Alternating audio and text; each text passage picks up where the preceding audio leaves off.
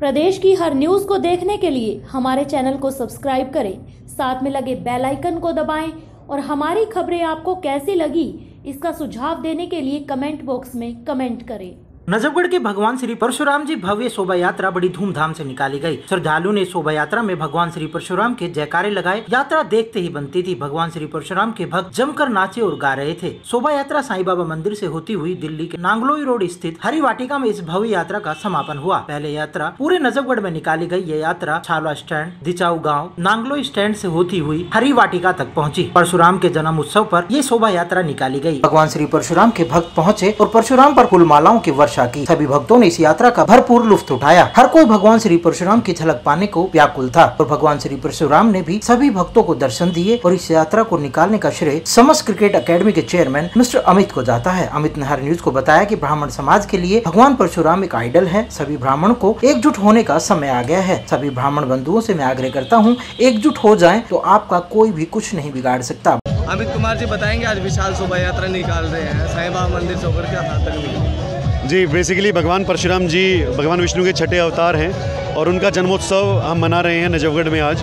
और नजौड़ साईं मंदिर से एक भव्य शोभा यात्रा भगवान परशुराम जी की झांकी के साथ हम नजौड़ साईं मंदिर से Delhi gate Chhawla stand Dhansa stand और नागली रोड पर श्री हरी वाटिका पर यात्रा संपन्न होगी, जिसको सर समाज के लोग मिलकर एक साथ इस जन्मोत्सव को मना रहे हैं। सर समाज के लोग मिल मिलकर बीच में यात्रा का अभिनंदन कर रहे हैं, भगवान पर पुष्प अर्पित कर रहे हैं और इस प्रकार इस इस उत्सव को बड़े हर्षोल्लास से तो आज पूरा निजवड़ मना रहा है। आज भव्य शोभा यात्रा भगवान परशुराम जी की निकालेंगे इसका क्या उद्देश्य लेकर के आप चल रहे हैं? क्या जनता को आप बताना चाहते हैं? जनता को यही है कि भगवान परशुराम जिस चीज़ के प्रतिबिंब थे शास्त्र और शस्त्र दोनों के ज्ञाता हैं और वही उनके उनके जीवन से बहुत कुछ सीखने को है और भगवान है हमारे तो उनकी आस्था को लेकर उनका पर्व हम मना रहे हैं आज और यही एक संदेश हम लेकर जा रहे हैं कि सर्व सद्भाव से हम सब सर्व समाज में मिलकर रहें यही यही संदेश है।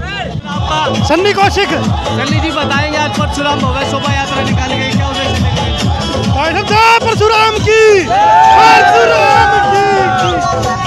साहब एक नज़र के लिए इतिहास होगा तो ब्राह्मण भाइयों की एकता नज़र आएगी सब लोगों को। जय परशुराम की क्या कहना चाहिए? आप इस उत्सव पर? दुनिया को एक जागरूक करने का ऐसा है। भगवान परशुराम के बारे में बताना और उनके बारे में समझाना बच्चों को।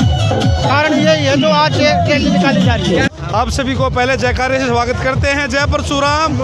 की जय। आज 19 मई का दिन हमने पिछले दो तीन महीने से जो यात्रा की थी उसकी तैयारियाँ कर रखी है, सारा ब्राह्मण समाज और अन्य जो भी समाज है, वो हमारा पूर्ण रूप से साथ दे रहे हैं। हम सभी भाइयों को एकजुट करना चाहते हैं और हमारा सबसे बड़ा लक्ष्य यही है कि जैसे परशुराम भगवान ने सभी को एक छत्र छाया में रखा, वैसे ब्राह्मण समाज आगे बढ़ता रहे और हम सभी ग्रुप को लेके, सभी समाज को लेके आगे चल रहे हैं। सभी का हमें आशीर्वाद मिल रहा है बहुत अच्छी तरह से। आप सभी भाइयों के लिए हमारे बहुत बहुत धन्यवाद। जय परशुराम। बताएँगे आज परशुराम जी की भव्य शोभा यात्रा निकाली गई है। क्या उद्देश्य है?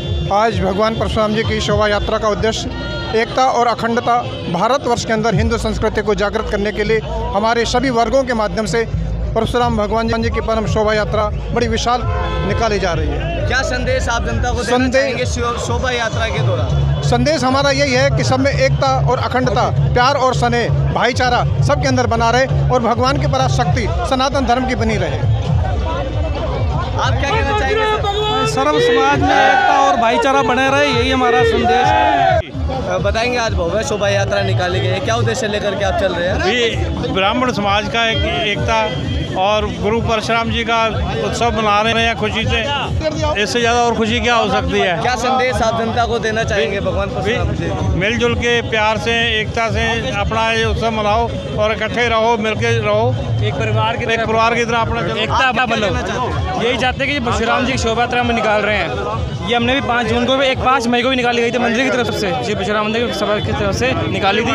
ये दूसरी शोभा यात्रा है जो अमित गौड़ की तरफ़ से। बताएगी आज शोभा यात्रा निकालना भगवान परशुराम की जन्मोत्सव में क्या करेंगे। मैं यही कहना चाहूँगा भगवान परशुराम विष्णु जी के छठे अवतार थे उसी के जन्मोत्सव पर हम यात्रा निकाल रहे हैं जिसमें भारी संख्या में लोग आप देख रहे हैं कितने सारे जुटे हुए हैं। और सभी को कहूँगा कहना चाहूँगा कि जय परशुराम हमारा साथ दे और हमारे साथ मिलकर आए। क्या संदेश आप जनता को देना चाहेंगे मैं यही संदेश देना चाहूँगा कि भाईचारा रखो आपस में। ब्राह्मण एकता है ये पर सर्व समाज को लेकर हम चल रहे हैं साथ में। हिंदू एकता है और हिंदुओं के एक, एक ब्राह्मण सारे इकट्ठे हुए हैं और हिंदुओं को एक एक इकट्ठा करने के लिए यात्रा निकाली जा रही है। और यही कहना चाहूँगा जय दादा परशुराम। नजफगढ़ से अनिल हडाला के साथ गौरव की रिपोर्ट हर न्यूज़